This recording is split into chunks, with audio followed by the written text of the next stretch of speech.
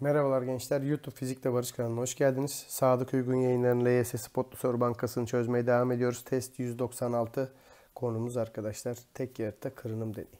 Evet.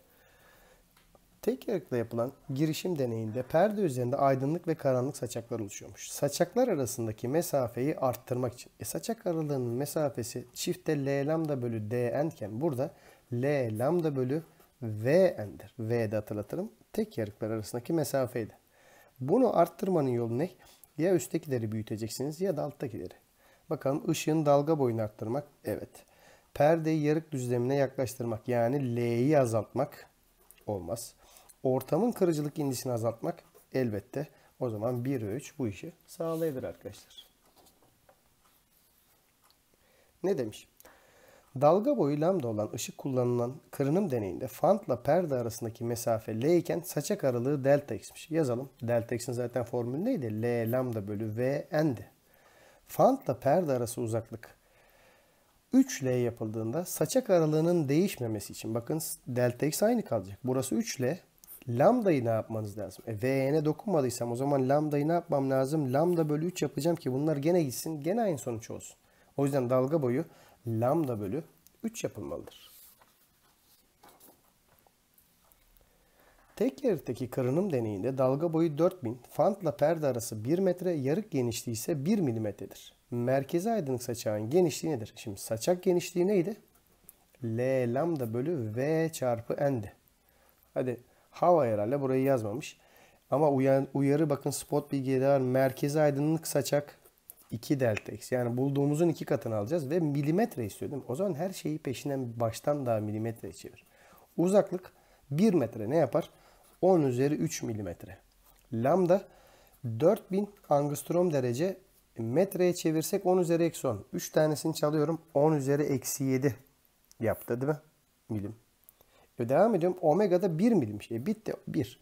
Ne oldu cevap? Şuradan yazarsak. Buradan 3 4 çarpı 10 üzeri eksi 1 değil mi? Milimetre. Yani 0,4 milimetre saçak genişliği. Ama merkez aydın saçak 2 delta x'ti. O zaman cevap ne oldu? 0,8 milimetre olacak. Tek yarık olduğu için uyanık olun. Göbek biraz büyük. Evet. Tek yarıkta yapılan kırınım deneyinde. Üçüncü karanlık. Bakın karanlıkların tek yarıkta formülü neydi? N lambda.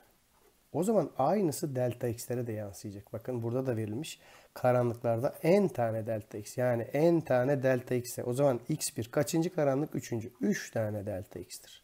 Peki aydınlıkların ne oluyor? Aydınlıkların formülü neydi? n artı 1 bölü 2 lambdaydı. O zaman bunun aynısı n artı 1 bölü 2 tane delta x olacak. O zaman x2'nin cevabı 4 artı 1 bölü 2 tane delta x oldu. Toparla gelsin. 9 bölü 2 delta x mi yapmış? X1'in x2 oranı sorulmuş. 3 bölü 9 bölü 2'den ne yaptı? 6 bölü 9 arayacağınız cevap da 2 bölü 3 olmuştur arkadaşlar. Evet.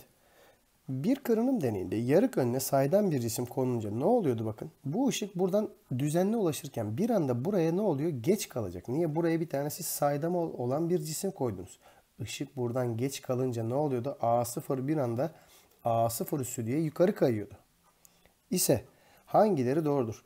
A0 ok yönünde hareket ederken iyi de saçak genişliği ne oluyor? L lambda bölü Vn. Bakın hiçbir değişiklik yapmadınız. Işığın dalga boyu Vn hiçbir şey. Sadece birazcık bunu ne yapmış oldunuz? Yukarıya kaydırmış olursunuz arkadaşlar.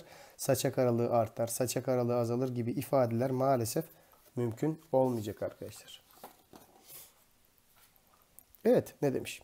Bir kırınım deneyinde fant şekildeki bir miktar döndürülüyor. Ne oluyordu?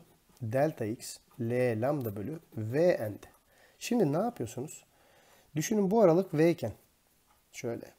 Sen ne yapıyorsun? Bunu böyle çevirdiğin vakit seni ilgilendiren şey burası gene dik kısmı. E buranın tamamı V ise burası V'den küçük. Yani siz V'yi azalttınız. Ne diyor? Saçak genişliğinin değişmemesi için ne yapabilirsiniz? Hemen basit. Ya üst taraftakileri de azaltacaksınız ya da bunu arttıracaksınız. O zaman ışığın dalga boyunu azaltmak uygundur. L'yi azaltmalıyım. Yarık genişliğini arttırmak yani omega'yı tekrardan arttırabilir miyim? Evet zaten azalmıştı. B planlarından biri de bu olabilir arkadaşlar. Evet. Dinlediğiniz için arkadaşlar teşekkür ediyorum. Ve gördüğünüz gibi modern fizik kısımları daha hızlı bitiyor. Hiç canınızı da sıkmayın. Yeter ki siz derslerinizi çalışmaya devam edin. Dinlediğiniz için teşekkürler. Bir sonraki testte görüşürüz. Hoşçakalın.